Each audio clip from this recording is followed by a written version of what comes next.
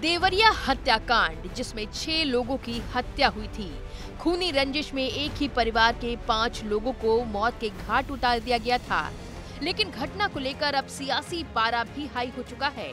कई राजनीतिक दलों के नेता योगी सरकार पर मामले में जहाँ एक तरफा कार्रवाई करने की बात कह रहे हैं तो कई नेता मामले में देरी से कार्रवाई करने का आरोप लगा रहे हैं।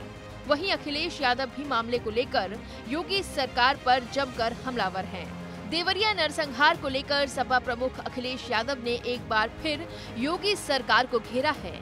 उन्होंने कहा है कि बीजेपी सबसे बड़ी जातिवादी पार्टी है। देवरिया कांड को यादव बनाम ब्राह्मण बनाया जा रहा है। इस दौरान अखिलेश ने बीजेपी पर जातीय दंगे करवाने का आरोप भी लगा दिया है। कि सबसे ज़्यादा जातिवादी पार्टी कोई है तो वो भारतीय जनता पार्टी है। उस घटना में भी लाभ लेना चाहती है राजनीतिक। और तब जब पूरी की पूरी गलती भारतीय जनता पार्टी की सरकार की है कभी कोई पूछे जाकर के कि जो परिवार थे उन्होंने कितनी बार दरखास्त दी? कौन अधिकारी नहीं था जिसके सामने वो गए ना हो न्याय के लिए? शुरू हो गई लेकिन न्याय न्याय शुरू हो गई है। न्याय क्यों नहीं मिला? न्याय क्यों नहीं मिला। अगर कोई जिम्मेदार है न्याय न देने के लिए तो वो भी इस घटना का अपराधी होगा। इसी के साथ अखिलेश यादव ने घटना के लिए योगी सरकार को पूरी तरह से जिम्मेदार बताया।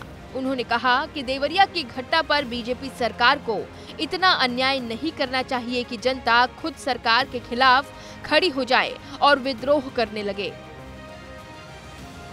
ऐसी घटनाओं पर राजनीति नहीं करनी चाहिए। अन्याय इतना नहीं करना चाहिए कि लोग सहन न कर सकें और लोग खुद खड़े हो जाएँ सरकार के खिलाफ। और ये अन्याय, ये कहीं ना कहीं सरकार के दबाव में ये अपराध हो रहा है। ये अन्याय नहीं बचा, अपराध हो रहा है।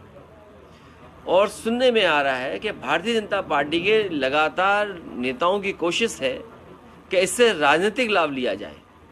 राजनीतिक लाभ लेंगे अगर आप तो घटनाएँ बढ़ेंगी, कम नहीं होंगी। इस तरह से अखिलेश यादव ने बीजेपी सरकार पर मामले को लेकर एक के बाद एक वार किए, लेकिन मामले में बीएसपी सुप्रीमो मायावती ने अभी तक चुप्पी साथ रखी है, जिसको लेकर कई राजनीतिक दल उन पर सवाल खड़े कर रहे हैं। आपको बता दें कि 2 अक्टूबर 2023 को जमीनी विवाद में देवरिया में खूनी संघर्ष हुआ था, जिसमें पहले प्रेमचंद्र यादव की हत्या हुई थी, जिसके बाद बदले की भावना से प्रेमचंद्र यादव के परिजनों ने सत्य प्रकाश दुबे के परिवार की गोली मारकर हत्या कर दी थी।